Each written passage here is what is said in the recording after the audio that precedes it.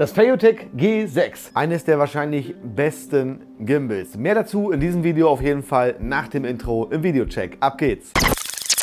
So sieht das Ganze aus, wenn man das bekommt. Also das Feiyutech ist auf jeden Fall ein Dreiachsen-Gimbal mit Bluetooth und WLAN. Man kann das Handy damit verbinden, man kann die Kamera damit verbinden, man kann den Fokus nachziehen und so weiter. Das gucken wir uns später gleich nochmal an. Ganz wichtig ist es für Kameras geeignet bis 800 Gramm. Also solltet ihr einmal eure Kamera auf die Waage raufschmeißen. Ich habe auch meine 1 Kilo Kamera schon drauf gehabt mit großem Mikrofon oben drauf. Das geht auch noch. Das Problem ist natürlich, bei zu viel Gewicht gehen wir mit der Kamera zu weit nach unten. Äh, dann kann es passieren, dass der Motor das nicht mehr schafft und sie einfach nach unten fällt. Bis 800 Gramm braucht ihr da auf jeden Fall keine Angst haben. Der Vorteil beim Feiyutech ist auf jeden Fall, dass wir nicht nur äh, eine Kamera reinbauen können, wir können verschiedene Sachen reinbauen. Wir können sogar ein Smartphone mit aufsetzen und äh, das alles ist in diesem Transportkoffer mit dabei und da gucken wir jetzt einmal kurz rein. Das hier ist unser Transportkoffer. Eigentlich braucht der Gimbal das Ganze nicht, der ist sehr robust. Den kann man auch mal so in die Equipmentkiste mit reinschmeißen. Beim Feiyutech G6 Plus ist enthalten einmal eine Action-Kamera-Halterung. Das heißt, wir haben hier unser Stativgewinde. Oben können wir die Action-Cam wie gewohnt mit unserer Drehschraube reinsetzen. Außerdem haben wir die Möglichkeit, eine Kamera, eine Schnellwechselplatte anzuschließen und äh, wir haben dazu auch zwei Sicherungsschrauben. Das ist auch alles sehr hochwertig verarbeitet.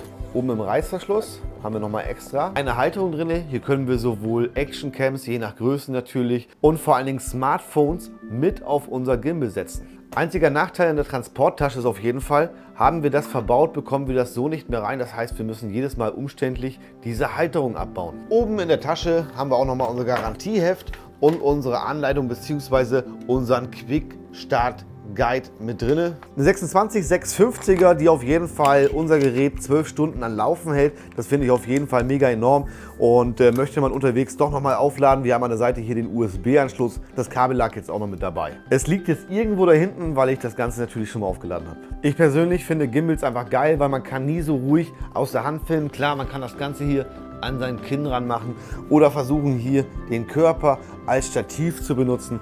Aber so richtig coole Aufnahmen oder flüssige Aufnahmen, gerade wenn man selber unterwegs ist und sich filmt, äh, sieht das immer mit dem Gimbal viel, viel sauberer aus. Außerdem hat man die Möglichkeit, gerade bei Carporns oder äh, ruhigen Schwenkvideos so richtig coole Szenen hinzubekommen, die man jetzt mit Stativ oder Slider nicht so gut hinbekommt wie mit einem Gimbal. Die Montage ist auch sehr einfach. Die Kamera wird hier einfach oben drauf gezogen. Dann wird das Ganze einmal grob vorjustiert anschalten und dann kann die Sache auch schon loslaufen. Also wirklich schöne, ruhige Kamerafahrten sind damit möglich. Beim Feiyutech gibt es natürlich auch noch ein paar Neuerungen und was die genau sind und wie man das Ganze einstellt, das zeige ich euch jetzt auf jeden Fall in diesem Video. Also was auf jeden Fall auffällt, ist dieses Drehrad hier an der Seite. Damit können wir nicht nur seitliche Schwenks machen, wir können natürlich auch umstellen durch einmal drücken. Wir können auch den Roll einstellen und wir können natürlich auch die Neigung der Kamera einstellen. Ich mache mal ein bisschen zur Seite, damit man das besser sieht. Und die Geschwindigkeiten von diesem Drehregler kann man selbstverständlich auch noch in der App wieder einstellen. Aber das eigentliche Highlight ist die Kamerasteuerung. Durch längeres Drücken dieses Drehreglers steigen wir um in die Kamera. Im Kameramenü selbst können wir natürlich den Zoom einstellen und den Falo Fokus. Das erlaubt auf jeden Fall selbst ohne Kamerarig richtig geile Szenen. Haben wir das Gimbal selbst mit der Kamera verbunden, können wir selbstverständlich auch die Aufnahme starten oder stoppen. Hier können wir einmal natürlich den Modus ändern. Auf diesem Knopf haben wir verschiedene Funktionen hinterlegt. Drücken wir den Knopf einmal, dann bleibt die Kamera, egal was ist, egal wie wir unser Gimbal unten, unseren Griff drehen, immer in derselben Position. Drücken wir den Knopf zweimal, dann können wir die ganze Kamera auch neigen, gerade bei Action-Szenen oder wenn wir mal nach unten schwenken möchten, kriegen wir so schöne, leichte Schwenks hin. Die Querachse bleibt trotzdem weiterhin stabilisiert. Drücken wir den Knopf dreimal, dann schwenkt die Kamera zu uns rüber. Auf der gegenüberliegenden Seite haben wir auch einen Knopf, drücken wir den zweimal, dann schwenkt das Ganze wieder zurück. Drücken wir den Knopf viermal, können wir Positionen einstellen. Wir sagen zum Beispiel, du fängst da an und hörst da vorne auf. In der App können wir selbst nochmal die Zeit einstellen. So kann man zum Beispiel über mehrere Stunden einen schönen Schwenk erstellen in Timeslap. Besonders praktisch, dieses Steuerkreuz, das können wir in alle Richtungen bewegen und es reagiert auch empfindlich. Das heißt, drücken wir langsam, bewegt sich der Arm langsam,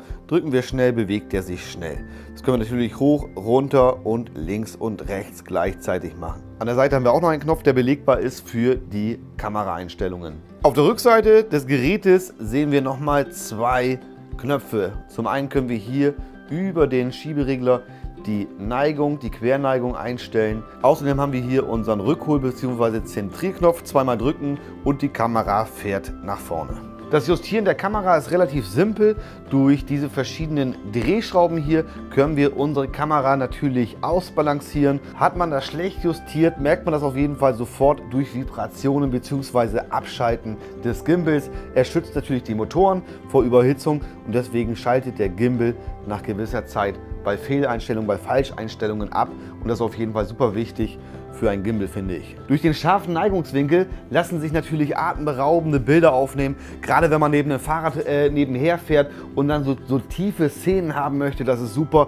Wir haben hier auch nochmal zwei Stativaufnahmen, beziehungsweise hier könnte man optional noch ein Handy anschließen, um die Steuerung über das Handy zu vereinfachen, dass man alles an einem Platz hat und unten drunter befindet sich natürlich auch nochmal ein Gewinde fürs Stativ, wenn man das Ganze auf ein Stativ oder auf eine Verlängerung montieren möchte. Ansonsten die Verarbeitung von dem Gerät ist wirklich wirklich top.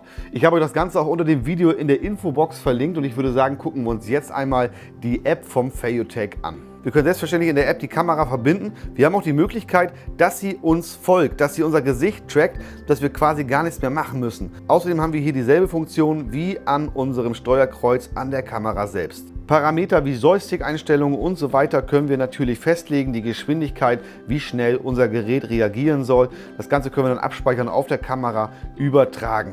GoPro, Sony, Panasonic und Canon können wir verbinden, aber selbst ohne kompatible Kamera lohnt sich dieses System definitiv. Wenn es nicht so doll regnen würde, dann könnte man natürlich auch schöne Draußen-Szenen machen. Also wir können uns hier mal bücken, wir können hochgehen, das Bild ist auf jeden Fall immer schön gerade. Wir drehen uns hier eine Runde und das wird auf jeden Fall alles hier richtig schön stabilisiert. Also auch der Mops ist 100% zufrieden und kann nicht meckern.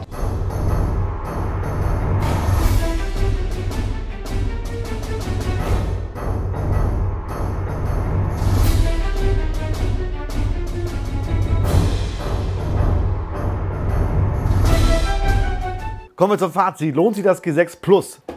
Also ich würde auf jeden Fall sagen, ja. Wir haben zwar einen kleinen Abzug in der B-Note, weil das Handyzubehör nicht montiert mit in den Koffer reinpasst, sondern immer extra abgebaut werden muss. Aber dafür haben wir ein System, was für Actioncams geeignet ist oder ein Handy oder spiegellose Kameras. Hat man eine Kamera, die damit kompatibel ist, kann man den Zoom steuern, kann man den Fokus steuern über diesen Focus Magic Ring. 12 Stunden Laufzeit ist auf jeden Fall völlig ausreichend, 3 Stunden Ladezeit. Man kann natürlich nochmal einen Ersatzakku dazu kaufen, aber ich denke mal mit 12 Stunden kommt man gut über den Tag. Besonders cool auf jeden Fall die Tracking-Shoots, das heißt die Kamera verfolgt mich selbst. Also egal wie ich im Bild bin, ich kann das Ding auf ein Stativ raufbauen und die Kamera folgt mir immer, egal wo ich gerade hingucke. Das Eigengewicht liegt bei 663 Gramm und somit kann man das auch locker mit einer Hand führen. Es gibt schwerere äh, Geräte, wo man auf jeden Fall Probleme bekommt im Gewicht. Da würde ich auf jeden Fall zu einem äh, Doppelgriff greifen. Ich hoffe natürlich, ich konnte dir mit diesem Video weiterhelfen.